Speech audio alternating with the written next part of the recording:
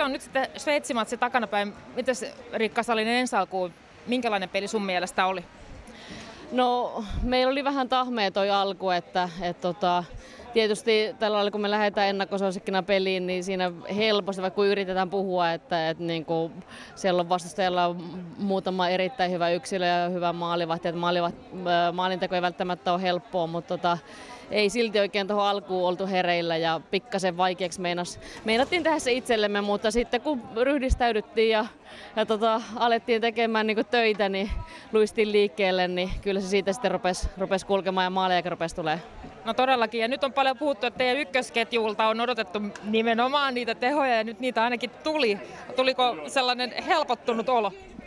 No ei meillä, me itse asiassa eilen juteltiin asiasta, että tota, ei meillä tietenkään mitään semmoista niinku paniikkia ollut, että Venäjä-peli voitettiin, voitettiin tämän meidän nuorisokentän ansiosta ja tota, sitten ehkä semmoista, niinku, mitä me keskenään puhuttiin, että, että täytyy niinku pikkainen semmoinen niinku suoraviivaisuus saada tuohon tuohon peliin, että ei siirrellä turhaan sitä kiekkoa ja etitä sitä niin kuin täydellistä syöttöä, että joku pääsee pistämään tyhjiä.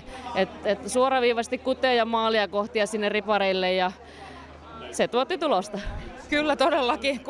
6-2 ja teidän kentälle tuli monta, monta pojoa tänään. Sitten vielä lyhyesti liittyen tuohon huomiseen peliin. Kanada on sitten ihan eri tason vastustaja kuin mikä tämä Sveitsi.